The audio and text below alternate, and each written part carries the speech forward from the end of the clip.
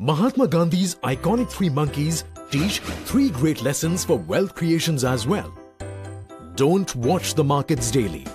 If you see Sensex and NAVs daily, you will get caught into the emotions of fear, greed and hope and will end up losing the money. Don't act on tips. Daily market tips are meant for speculators and most of the people following the tips of the market without doing fundamental research ultimately increase their chances of losing the money. Don't focus only on past performance. The ranking of mutual fund schemes based on past performance keeps on changing every year.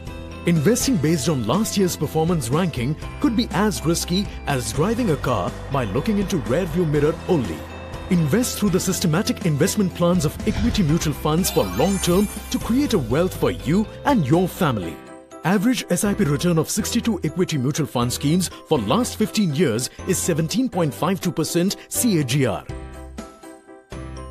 Call us now to start your SIP today. Mutual fund investments are subject to market risks. Please read all scheme related documents carefully before investing.